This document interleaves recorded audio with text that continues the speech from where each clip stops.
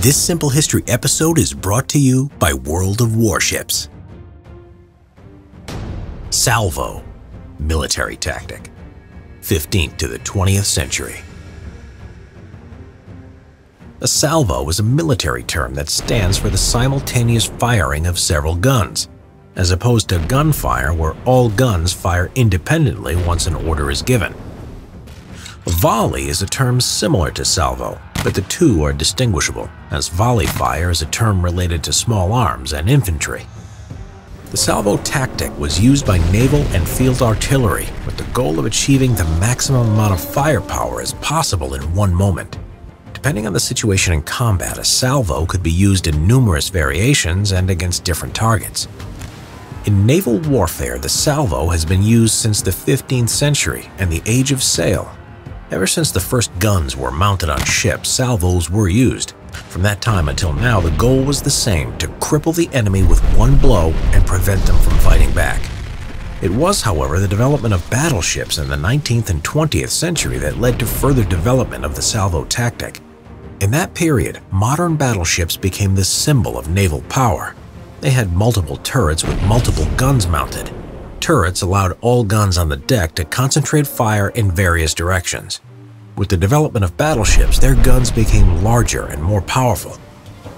Simultaneous and coordinated fire from eight or more heavy caliber guns made the salvo a tactic of great firepower.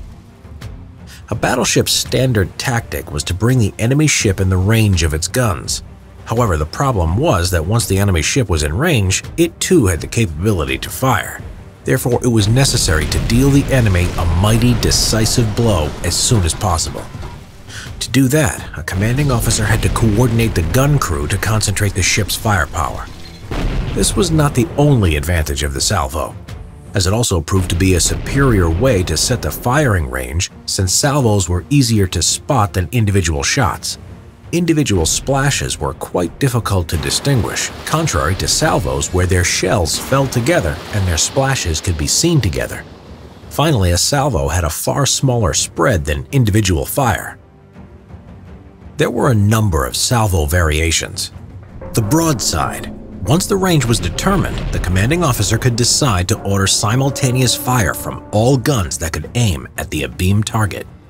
Half salvo or split salvo was when the ship fired one gun from each turret at the same time. Double salvo when one split salvo was followed by another. This tactic allowed the gun to reload maintaining somewhat continuous fire of salvos. A bracket salvo or zigzag salvo was a method used to determine the range to the target. The Germans used the tactic extensively in both world wars. It consisted of three double salvos. The first fired at the range determined by the rangefinder, the second 400 meters long, and the third 400 meters short of the first salvo. By noticing which salvo was the closest, an accurate range was determined. The ladder salvo was a similar tactic.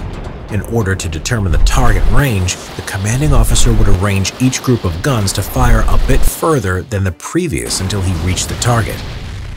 Apart from targeting enemy ships, salvos were quite effective against coastal fortifications. Very often, naval artillery efficiency was compared to air attacks, which were considered to be a better solution in fighting enemy strongholds. However, barely any plane except for heavy bombers could provide such intense firepower as a battleship salvo.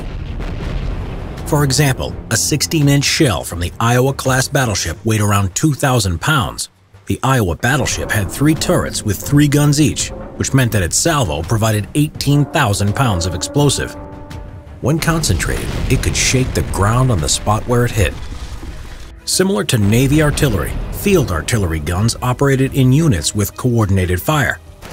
One way of fighting the enemy was by applying the salvo tactic. It involved the simultaneous fire of entire ranks of the battalion, providing the firepower similar to those from battleships.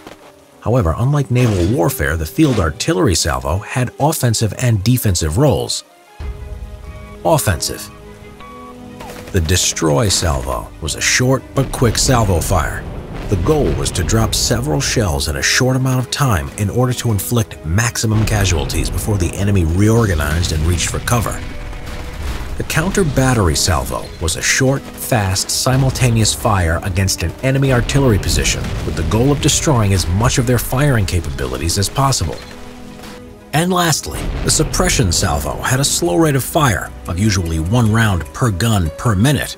It was a type of support fire with the goal to either pin the enemy down or to force him to withdraw during the attack of friendly troops. Offensive salvos were most often combined with predicted aiming, but as artillery progressed, so did the aiming techniques. This allowed artillery units to precisely determine enemy positions before firing. In such a case, an artillery unit was able to get the most out of their salvo, as the first rounds would make a direct hit with maximum casualties. Defensive The suppression salvo was similar to the offensive type, but with the aim in slowing the enemy's advancement or to make a screen between the attacker and defender. The destroy salvo in the defensive strategy was a more intense shelling that caused casualties and disorganization among the attackers. And lastly, the final protective fire was a type of salvo, striking close to a friendly unit's position in order to protect it from an overwhelming attack. As a tactic, the salvo has been used by field artillery units for centuries. As in naval warfare, the intention was to deal a massive blow to the enemy in an instant. The tactic was widely used during 19th century warfare and became very effective with the introduction of rifled barrels and high explosive shells. This allowed artillery units to shell the enemy with enormous amounts of firepower. In the post-World War II era, the salvo tactic began to decline. Development of cruise missiles made battleships and their artillery obsolete. A missile launched from a destroyer was able to cause more damage at greater distances than any battleship. The domination of long-range missiles and air bombing also diminished the role of field artillery in the same manner. Today, salvos are mostly used for ceremonial purposes as a loud and thunderous performance of might.